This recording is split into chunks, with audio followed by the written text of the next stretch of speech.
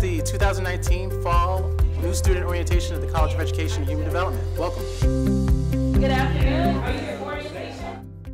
A PhD for educational psychology. I chose Georgia State because of its focus on diversity. I'm in the Masters of Teaching program for Health and PE.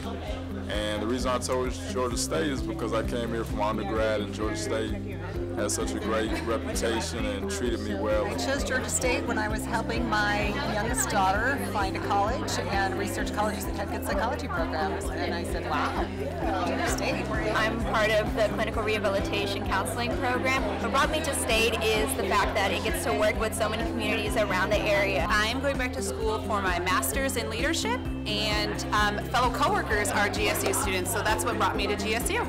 I'll be here for my doctorate in ed policy and I came to Georgia State because it gives me the great balance of doing qualitative and quantitative research in educational issues. I'm sports and administration masters uh, and I chose Georgia State because of all the opportunities that working in Atlanta has.